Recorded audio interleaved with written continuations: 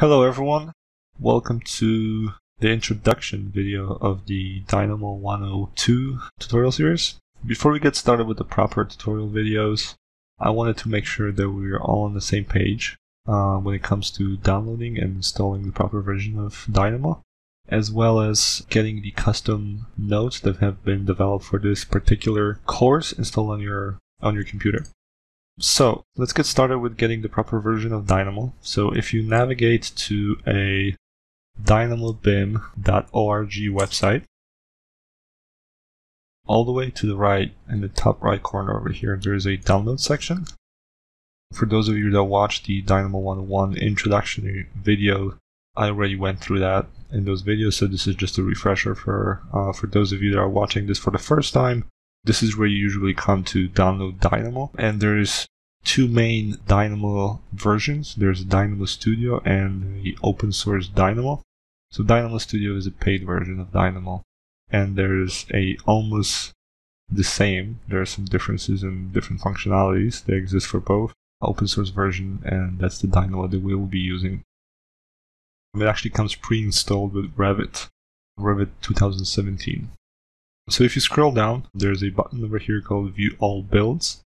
Click on that, it'll open a new, uh, new window. And the version of Dynamo that we'll be using is a version called Dynamo 1.00. So this is the latest stable Dynamo as of today.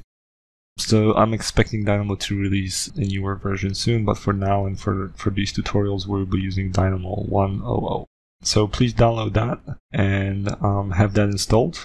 Once you have that version of Dynamo installed on your computer, there will be a folder where the packages will go, and I'll show you that in one second. So there will be an Archilab package available for download uh, with your tutorial series.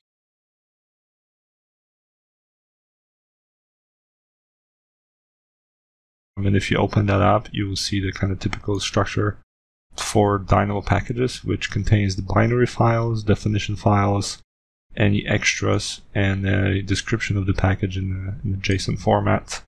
What we need to do is actually copy this entire folder. So just select copy paste, copy that, and um, it will go into a Dynamo folder location. So for those of you, I'm just going to go back to my C drive. So for those of you that's never done this before, if you're manually installing a package, this is the this is the location that you want to paste it into.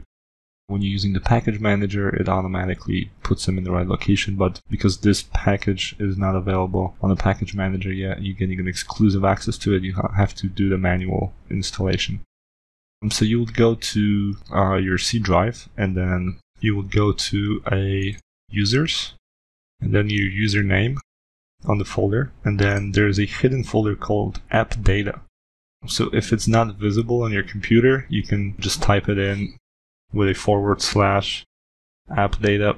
Just hit enter. Even if it's not visible, it should it should give you access to that folder. And there under roaming Dynamo Dynamo Revit 1.0. There's a folder called packages and you would come over here and this is where you will have to paste your package. Just because I made a few slight changes, mine actually exists inside of packages, but you can paste yours directly into the first packages folder right here, where all the rest of my uh, custom packages are. So please paste that in, and then we can actually open up Dynamo. So if you go back to Revit, Another small change in Revit 2017 Dynamo comes pre-installed with Revit and it will be on the Manage tab instead of Add-ins. It used to be on the Add-ins tab, now it's in the Manage tab. So once you install that version 1.0 and when you launch Dynamo, you should be able to select the correct version and once you start a new file, you will see this library over here on the left called Archilab and then these are my other custom libraries that are installed like Clockwork or Mantis Shrimp and whatnot. But the one that we just installed right now is called Archilab and it should look something like this. When you have an element view and view filter uh, subsections, and these are going to contain all of the important nodes that we're going to be using in our tutorials. So this is it for the installation. This should be pretty straightforward.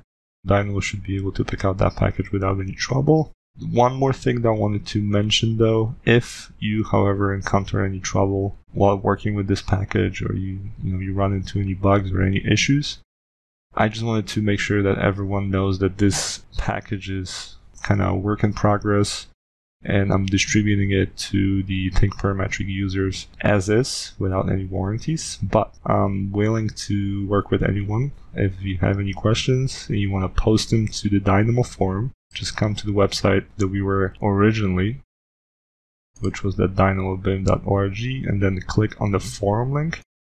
Just come over here, and this is a new forum page for those of you that watched the 101 series this looked totally different before, but again, this is a place where you want to go and ask questions.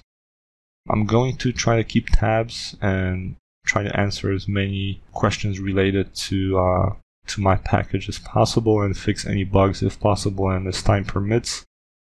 If you do have any questions, please click on this new topic window over here, give it a brief description, and then under categories, just pick packages and then do me a favor and tag it with two things. Tag it with an Archilab tag, tag it with a think parametric tag. So tag it with those two tags.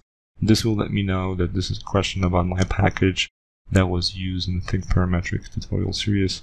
And I'll do my best to answer any of your questions in, you know, in a timely manner. I think that's it for this series the next video we'll actually open up Dynamo and get our hands on this uh, on these custom nodes and work on a few workflows that I hope will be useful for you. So thanks for tuning in and um, I hope you enjoy it. Thank you.